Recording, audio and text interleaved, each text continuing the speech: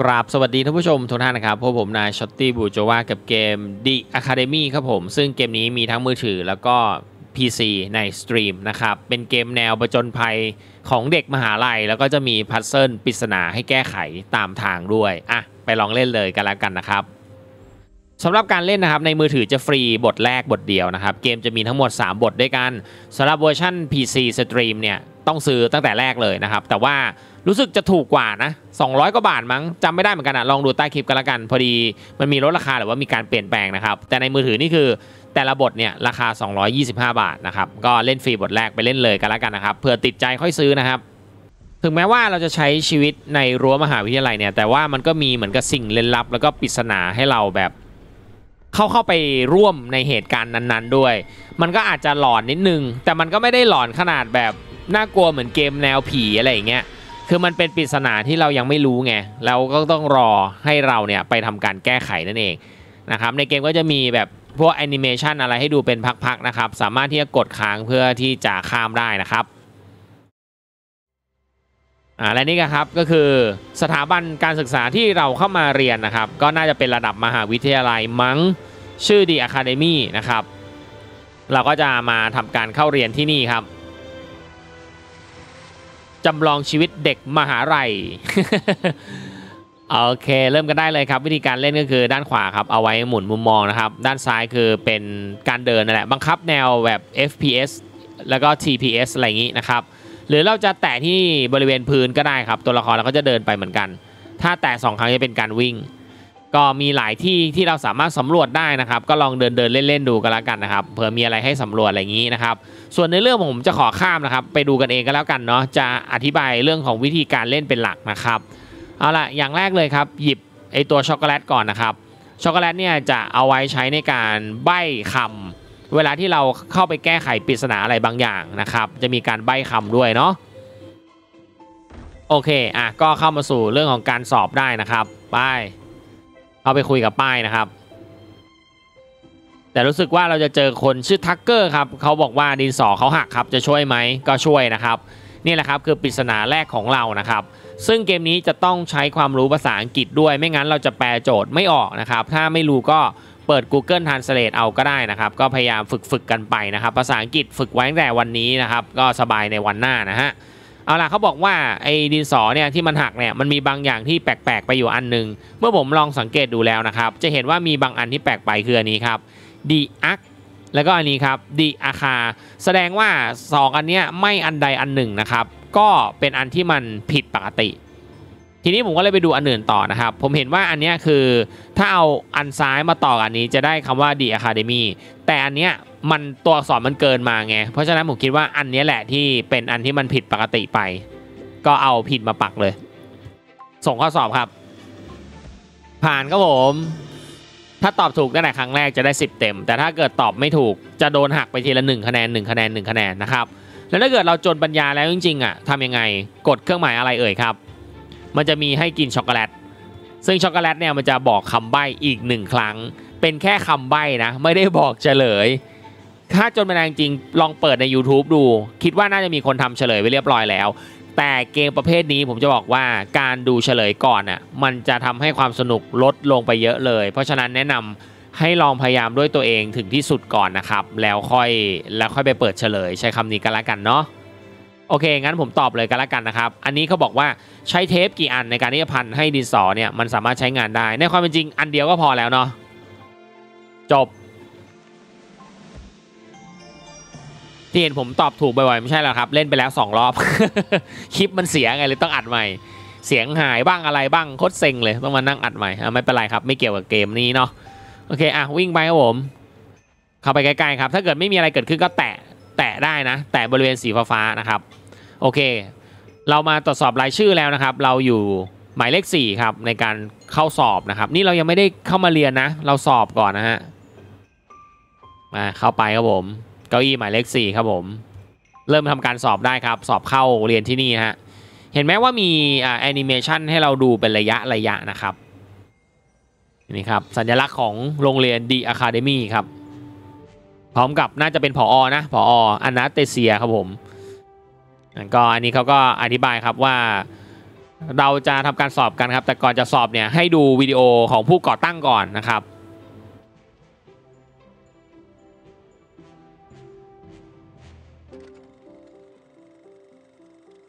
เหมือนเดิมครับกดค้างไว้เพื่อที่จะข้ามได้นะครับ นี่แหละครับคนนี้ครับบารอนฮอลลเวย์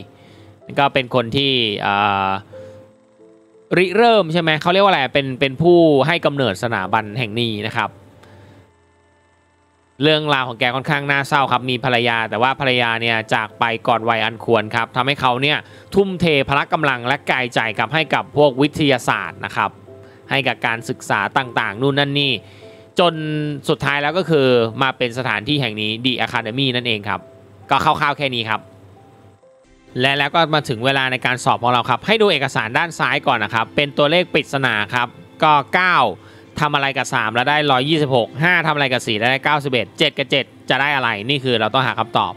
อ่าผมเล่นมาก่อนหน้านี้แล้วใช้เวลาคิดอยู่พักหนึ่งเหมือนกันครับ ก็จะเห็นว่า 9 บวก 3 เป็น 12 5 บวก 4 เป็น 9 เพราะนั้น 7 บวก 7 เป็น 14 มันจะต้องขึ้นต้นด้วย 1 4 แน่นอน ทีนี้ไอ้ 1 4 เนี่ยมันมี 2 ตัวเลขมี 0 กับ 7 อันนี้ก็ต้องเดาใช่ไหมครับ แต่พอผมสังเกตดูอีกทีหนึ่งผมเห็นว่า9ลบ3เท่ากับ 6 5ลบ4เท่ากับ 1 เพราะฉะนั้น7ลบ7 ก็น่าจะต้องเป็น0คำตอบก็น่าจะเป็น140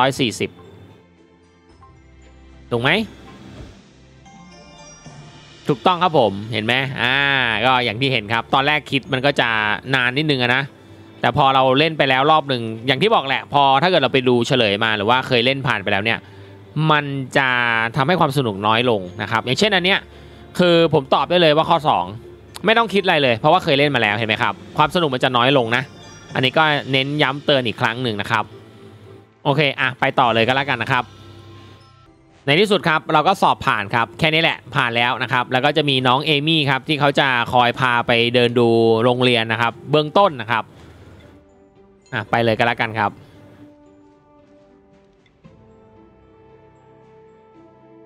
นี่คือโถงกลางของโรงเรียนนะครับ แล้วก็เห็นสองคนมาเต้นกันทำไมไม่รู้นะฮะ สำหรับเกมนี้เราจะพุ่งไปที่เควสหลักอย่างเดียวเลยก็ได้เควสหลักก็คือเนี่ยแหละที่มันมีรูปสีฟ้าขึ้นนะหรือเราจะแวะไปเดินดูอย่างอื่นก็ได้นะครับเนี่ยเห็นคนมาเต้นเต้นกันอะไรเนี่ยลองเข้าไปคุยดูหน่อยดิเนี่ยนะอ่าแล้วก็เมื่อกี้ไอ้ตรงนี้ครับมันมีอะไรบางอย่างให้อ่านด้วยนะครับ สามารถอ่านได้เห็นไหมครับ The Eternal T สร้างมาตั้งแต่ 1530 ครับ ดูรายละเอียดเพิ่มเติมได้เห็นไหมคือเราไม่จำเป็นต้องวิ่งไปตาม quest ก็ได้นะครับ เราก็ไปทำนู่นทำนี่ก่อนนะครับ เนี่ยเห็นอะไรแปลกๆ ลองเข้าไปดูดูเข้าไปทำอะไรดูนะฮะ เผื่อมันจะมีแบบ quest ลับหรือของลับอยู่อะ มันก็มีเหมือนกันนะ quest ไม่ได้สั่งแต่ว่าเราสามารถที่จะไปทำแก้ไขปริศนาอย่างอื่นได้ด้วยนะครับ เดินมาดูนี่สิ อืม แค่นี้แหละพอละ ไปไป quest หลักดีกว่า คุยกับเอมี่นะ ไม่ต้องคุยครับไม่ต้องคุยอ่าเดินเข้าประตูไปเลย ถ้าถ้าเดินเดินเข้าไปในประตูไม่ติดก็คลิกเอานะครับ บริเวณสีฟ้านะมันก็จะเข้าไปนะครับ นี่แหละครับผมห้องสมุดนะฮะโอ้รู้สึกว่ากำลังมีใครมีปัญหาอยู่ตรงนี้ แค่หนังสือล่วงทำไมเป็นอะไรหรือ คุณแซนดี้ทำหนังสือตกครับ เราก็ควรที่จะไปช่วยเธอครับโอ้คอมพิวเตอร์แบบนี้ไม่ได้เห็นมานานแล้ว คอมพิวเตอร์แบบจอตู้แบบนี้ ไปคุยกับคุณแซนดี้นะฮะคุณแซนดี้ทำหนังสือตกครับผม ช่วยหน่อยได้ไหม จัดไปครับผม ไม่ได้ช่วยเก็บหนังสือนะ มีปริศนานิดเนื้อนิดหน่อยนิดหน่อยใช่ครับนิดหน่อยให้เราแก้ไขครับ เขาบอกว่าไอ้หนังสือที่หล่นลงมาเนี่ยมีหนังสือเล่มหนึ่งเปิดอยู่ เขาถามว่าไอ้หนังสือเล่มนี้เนี่ยมันเกี่ยวข้องกับวิชาอะไร ถ้าเกิดเราดูนะครับ มันจะมีแบบหลากหลายเลย อันนี้น่าจะเป็นเนเจอร์ใช่ไหมอ่า เป็นพวกธรรมชาติใช่ไหมครับ พวกนี้ พวกเคมี พวกอะไรเงี้ย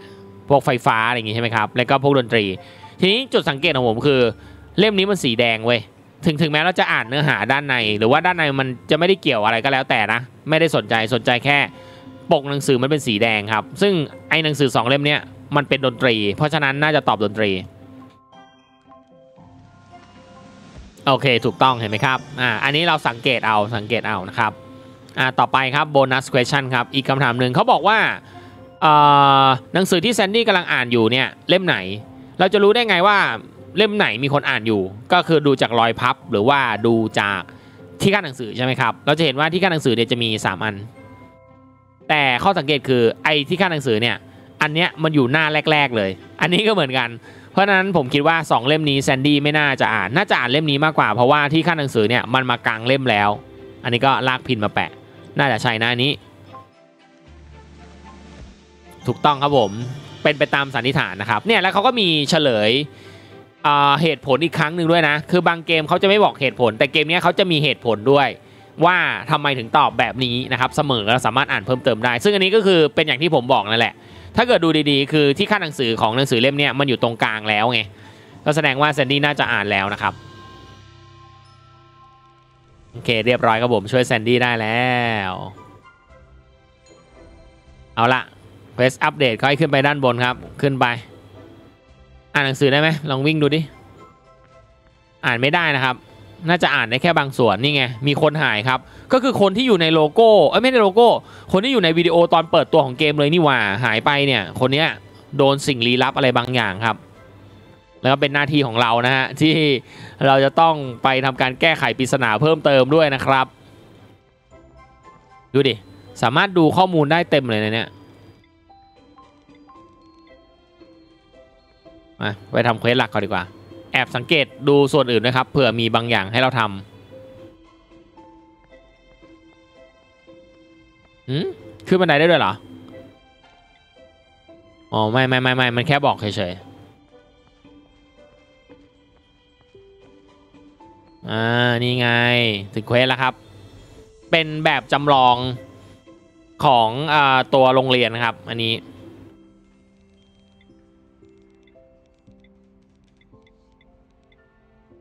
โอเคนะครับ สามารถดูได้นะ ก็เข้าไปคลิกนะครับ ดูได้ครับ แบบจำลองครับผม แล้วก็มีประวัติของโรงเรียนนะครับ สร้างมาตั้งแต่ปี 1540 อะไรอย่างนี้นะครับ แล้วก็มีแบบ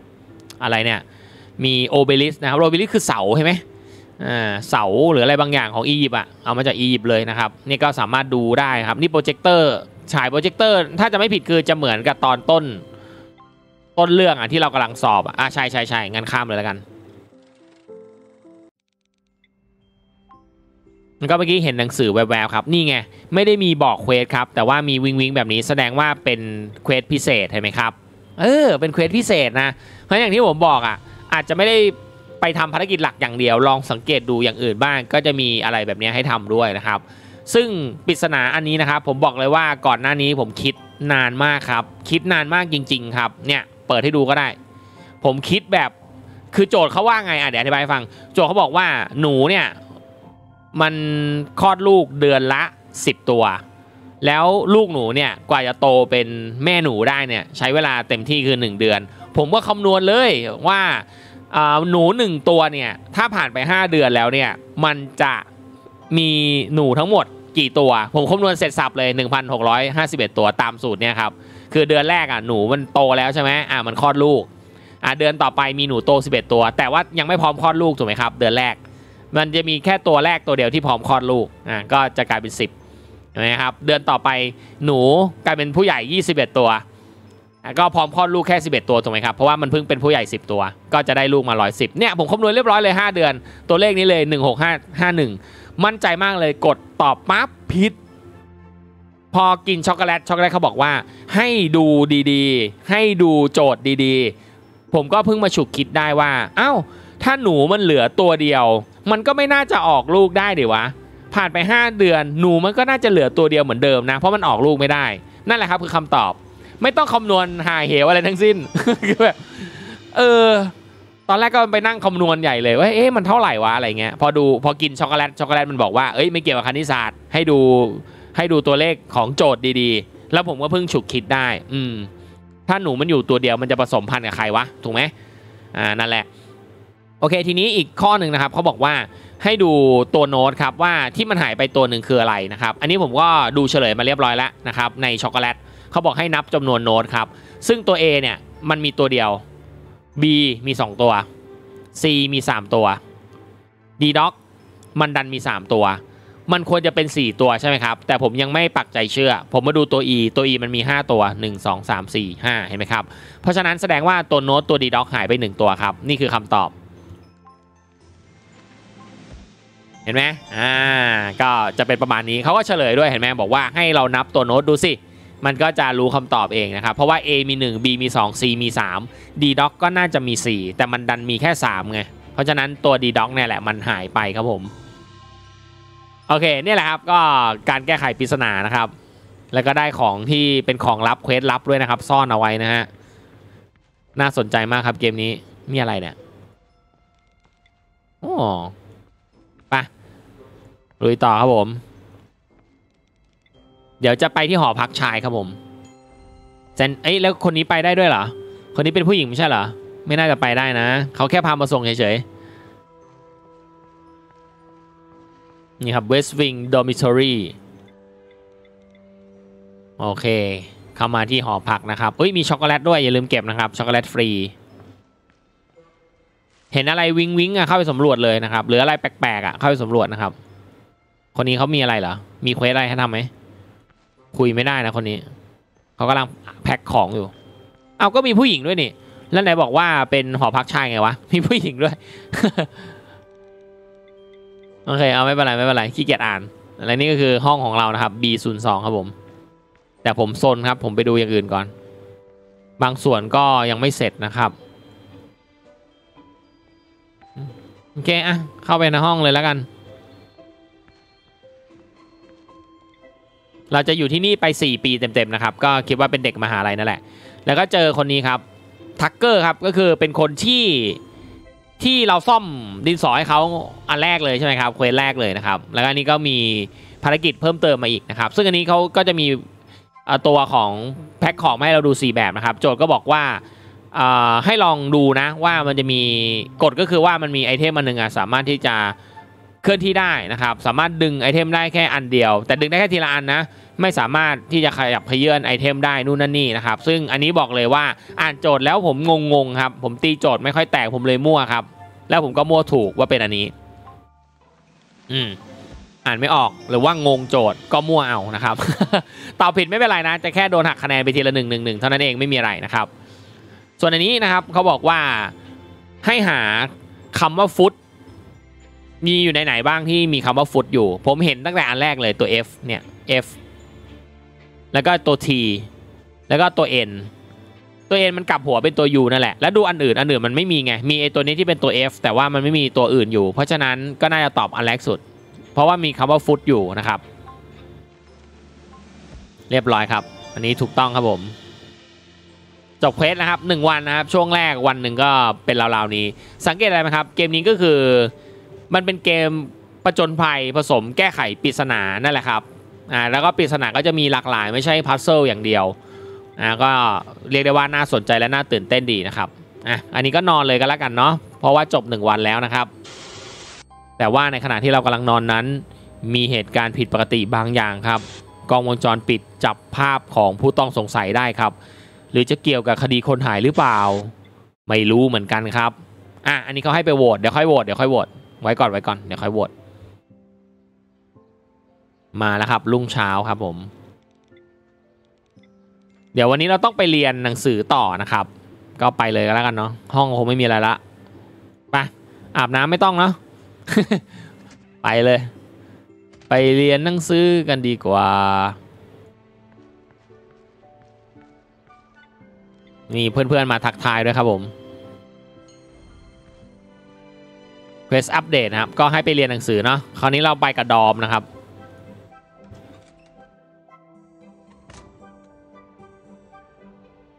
อืมอันนี้ก็เปลี่ยนไปแล้วนะ ก็กลายเป็นเรียนศิลปะแทนแล้วนะครับ แต่รู้สึกเรายังไม่ได้เรียนศิลปะนะ เราน่าจะเรียนอย่างอื่นก่อนนะครับ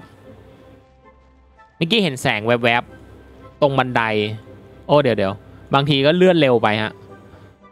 นั่นๆๆไม่ใช่ตรงบันไดตรงนี้ตรงนี้เห็นไหมช็อกโกแลตใช่ไหมเก็บช็อกโกแลตก่อนแล้วกัน จะได้ฟรีมาอีกหนึ่งอัน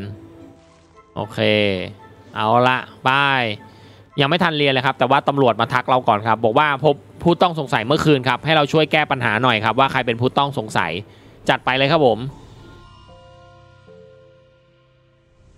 เขาบอกว่าเเมื่อวานเนี่ย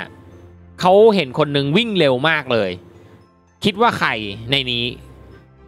ถ้าเอาเป็นเรื่องของการเคลื่อนที่ได้อย่างรวดเร็วที่สุด ก็คือน่าจะเป็นเบอร์สองเพราะมีสเก็ตบอร์ดอยู่ด้วย น่าจะใช่นะ โอเคถูกต้องครับ อ่าตามนี้เลยเขาบอกว่าเบอร์ 2 มีสเก็ตบอร์ดด้วยน่าจะไปได้เร็วที่สุดนะครับ เวลาหลบหนีอะไรก็เร็วสุด ทีนี้เขาบอกว่าเอ่อได้ยินเสียงดังมากครับ มันเกิดขึ้นระหว่างที่มีการผัดเวรของยามนะครับ ตอน3ามทุ่มนะฮะคิดว่าข้อมูลหรืออะไรที่มันน่าสนใจนะครับ ในการที่ช่วยเหลือพระพราโบคือตำรวจเมื่อกี้ใช่ไหมถ้าเกิดเราดูนะครับเกี่ยวข้องกับเวลาหรือนาฬิกาเนี่ยคนนี้มีมือถือ คนนี้มีนาฬิกา คนนี้มีนาฬิกา คนนี้ไม่มีนาฬิกาไม่ได้มีบ่งบอกอะไร เพราะฉะนั้นเบอร์สามนี่น่าจะน่าจะเป็นคนที่ไม่รู้เวลาใช้คำนี้ก็แล้วกัน อ่า ก็ตอบถูกครับผม นี่ไงเขาบอกแล้ว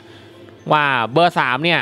ไม่น่าจะรู้เวลาครับ ที่รู้เวลาน่าจะเป็นสามคนนี้ เพราะฉะนั้นคนนี้น่าจะตัดออกนะ ตัดออกจากผู้ต้องสงสัย โอเค เอาละผ่านไปได้อีกหนึ่งเควสครับผม ก็ไปเรียนได้ครับ อ้าว โดนหมีไล่ซะอย่างนั้นครับ แต่ดูเหมือนเป็นเวทมนต์นะครับ ดอมบอกให้หนีครับ หนีเหรอ หนีต้องกลับไปข้างหลังเนาะอะหนีก็หนีเออ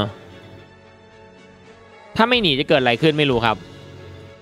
ออกมาครับตำรวจก็ถามว่าเกิดอะไรขึ้น พวกเราก็เล่าให้ฟังใช่ไหมว่ามีหมีอยู่ครับ แต่พอตำรวจเข้ามาแล้วปรากฏว่าไหนหมีอะเห็นหมีหนูไหมเห็นหมีหนูไหมตำรวจบอกว่าไม่เห็นมีเลยมีของหนูอยู่ไหน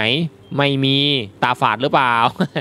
เออช่างเถอะกลับเข้าไปเรียนได้แล้วนะฮะดอมกับเราก็ตกใจครับว่า เอ๊ะเมื่อกี้ที่เราเห็นคืออะไรกันแน่ทำไมหมีมันหายไปไหน คราวนี้จะเห็นว่ามี3 quest เลยนะครับ มีสีฟ้าสีเหลืองแล้วก็มีสี ที่เป็นขาวๆแล้วมีรูปอะไรเอ่ยอยู่ คือตอนนี้จะเริ่มมี quest ให้ทำมากกว่า1 quest แล้วนะครับ ก็แนะนำให้ไปทำให้หมดนะครับ ผมจะทำอะไรเอ่ยก่อนครับผม มันก็มีอะไรดิ้นๆอยู่นะครับอ๋อทักเกอร์ทักเกอร์ทำไมมาอยู่ในเนี้ยช่วยด้วยออกไปไม่ได้ คือต้องต้องไปหา key จากคนที่ชื่อคอนอะ โอเค ได้ได้ได้ได้ เขาไอคอนเนี่ย มันน่าจะอยู่ที่ Student Den ครับ เดี๋ยวเขาจะรอตรงนี้ อืมนี่ตู้สีฟ้าสีอ่าโอเค โอเค อะ เดี๋ยววิ่งไปทำ quest ก่อนแล้วกันนะครับ เดี๋ยว quest หลักค่อยว่ากัน เอ๊ะ เครื่องหมายอะไรเอ่ยอยู่ด้านขวา โอเคไป Student Den ครับรู้สึกจะอยู่ตรงโถงกลางนี่แหละเนาะอยู่แถวนี้แหละโอ้พวกนั้นก็แดนซ์กันใหญ่เลยเฮ้ยช็อกโกแลตอีกแล้ว มีช็อกโกแลตให้เก็บเป็นระยะระยะครับ เยี่ยม แดนแลนอะไรกันอะแดนด้วยดิบางทีมุมกล้องก็แปลกๆไปนะ แดนด้วยดิแดนไม่ได้ครับแหมเห็นนักเรียนแดนกันอยากแดนด้วยแดนไม่ได้ อะเข้าห้องนี้ student club อืม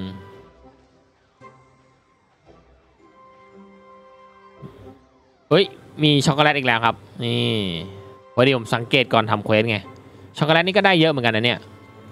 เพื่อไอพวกภารกิจหรือว่าพัซเซิลมันยากเกินไปไงเนาะ โอเคอะ คุย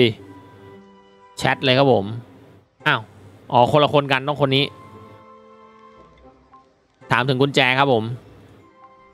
มา ช่วยแก้ไขปริศนาก่อนนะครับ เอาล่ะ อ๋อ ทักเกอร์กับเนท เขาบอกว่า 2 คนเนี้ยทักเกอร์กับไอ้ล็อกเกอร์ของคอนเนี่ยห่างกัน 3 ล็อกเกอร์ครับ เมื่อกี้ผมว่าผมเห็นล็อกเกอร์อะมีแค่สีแดงกับสีฟ้านะ บริเวณที่เนทอยู่อะเอ้ยไม่ใช่เนททักเกอร์ดิที่คนที่โดนขังอะมันอยู่ในล็อกเกอร์สีแดงแล้วก็มีสีน้ำเงินอยู่ใช่ไหมครับ เพราะฉะนั้นล็อกเกอร์ของเนทอะไม่เป็นสีแดงก็สีน้ำเงินถูกไหมไอ้สีสีเหลืองกับสีม่วงผมว่ามันมาหลอกผมลองดูแล้วกันสีสีน้ำเงินหรือว่าสีฟ้า หรือว่าสีแดงมีอยู่แค่นั้น เอามั่วถูกเฉยเลย เออ ก็คือเมื่อกี้ที่ผมสังเกตมาตรงล็อกเกอร์อะมันมีสีแดงกับสีน้ำเงินไง อันนี้มั่วถูกเลยว่ามันเป็นสีน้ำเงินนะครับ ต่อไปเขาบอกว่าเออมันจะมีโค้ดอยู่นะครับ ต้องแกะโค้ดกันอีกแล้ว ว่าโค้ดของไอ้ล็อกเกอร์สีเหลืองเนี่ย มันเป็นอะไรนะครับ อันนี้ต้องมั่วนะ ผมขี้เกียจคิดอะสองเจ็ดดูดิอะ นี่คือการมั่วลูกเดียว เออกว่าจะถูก แหมโอเค โอเคสองเจ็ดนะครับคำตอบคือสองเจ็ดนะครับ ก็ได้ไปแค่หกคะแนนเห็นไหมเพราะว่าตอบผิดไปเยอะไง ก็น่าจะช่วยทักเกอร์ได้แล้วนะครับ มีอะไรให้เล่นอีกไหม เล่นได้ปะเนี่ย เฮ้ย เล่นได้ด้วยเว้ย มีมีอะไรให้เล่นแบบนี้ด้วย เออ เอ้า ไม่เห็นเล่นได้เลย ตอนแรกนึกว่าเล่นได้ เห็นขึ้น pattern นึกว่าเล่นได้เว้ย อืมอ่าไม่เป็นไรไม่เป็นไรเราไปช่วยเพื่อนดีกว่าครับ เพื่อนกำลังติดอยู่ในล็อกเกอร์ครับ เราไม่ควรแอบมาเล่นเกมแบบนี้นะครับอ่าวิ่งไป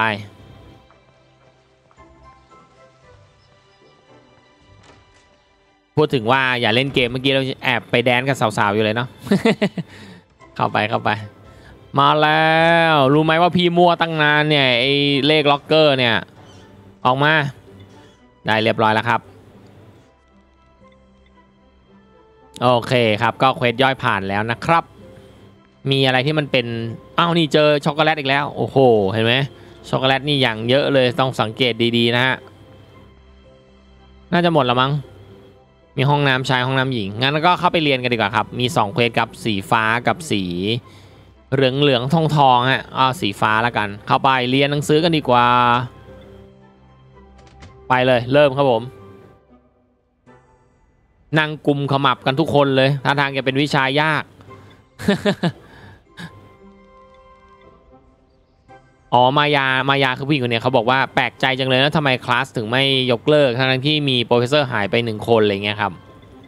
เวลาเรียนนี่แอบมาคุยกันอีกนะไอ้พวกนี้อ่าไม่เป็นไรครับข้ามเลยกันขี้เกียจอ่านแล้ว เวรกรรมมีตอบคำถามด้วย ข้อแรกก็แล้วกันมั่วๆไป นี่คือข้อเสียของการสคริปต์นะครับ สคริปต์รัวๆเลยเราไม่ได้อ่านเลย พอมีคำถามมาไปต่อไม่ได้เลยครับผม เอาล่ะปริศนาต่อไปเขาบอกว่า Arbor Academy เนี่ยเขาไม่ได้ถูกสร้างบริเวณด้านตะวันออกของ Foggy Swarm แต่มันถูกสร้างจากด้านใต้ของ Arbor Arboria แล้วก็ทิศตะวันออกของ Micarinos คิดว่าน่าจะสร้างอยู่ตรงไหน ด้านล่าง ด้านขวาก็น่าจะบริเวณนี้แหละนะ น่าใช่ ถูกปะโอเคถูกต้องนะครับผมเขาเขาบอกว่าตรงๆเลยไง อันนี้ไม่ยากครับ เอาล่ะโบนัส question ครับเขาบอกว่า Baron Summer Castle นะครับปราสาท Baron Summer นะครับ ถูกสร้างในเมืองครับผม ซึ่งเมืองเนี่ย ประกอบไปด้วย มันมีขนาด 3 ประเทศเหรอ ไม่ใช่ประเทศมันไม่ไม่ใช่ country นะ มันเป็น county ก็คือ 3เรียกว่า 3 ส่วนจะดีกว่าเนาะสามส่วนนะครับ แล้วก็ด้านข้างของมันเนี่ย two sides คือด้านข้างทั้ง 2 ด้านของมันอะมี 4 ส่วนด้วยกันนะครับ คิดว่ามันน่าจะถูกสร้างอยู่ตรงไหน อันเนี้ยผมไม่รู้ก็เดี๋ยวช็อกโกแลตมาดิ